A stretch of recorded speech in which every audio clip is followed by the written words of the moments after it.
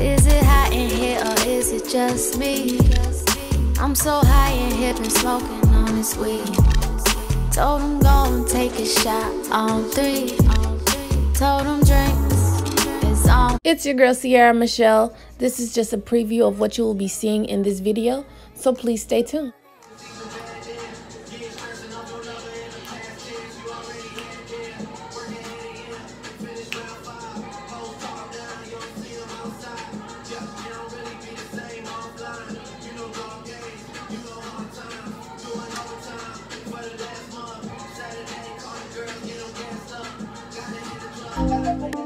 Moving on.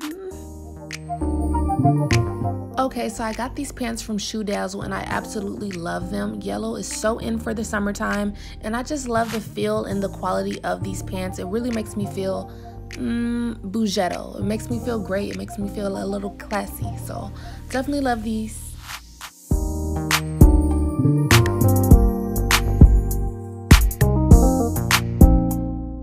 So this orange two-piece from Shein is beautiful. It's great quality. I just, it doesn't work for my torso and my stomach area, but let me know down below which of these outfits are your favorite.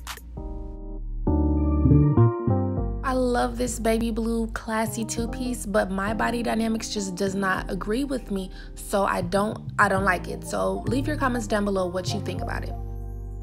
I absolutely love this yellow jumpsuit. It's great for the summertime and I like that the material is thin so I can breathe in this. I can actually feel the air flow in this. So it's great to wear to the zoo, great to wear the brunch. This is a go. I like how my body looks in this.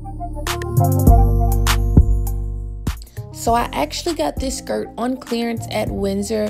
I think it kind of looks a little like high schooly, but I think it's cute on me. So it's a go. I like how it looks on me. I think it really fits me well. So let me know what you think about this. And this colorful cover up from Shein as well as this two-piece yellow bikini set. I think they're both colorful and they're great for their summertime. What more can I say?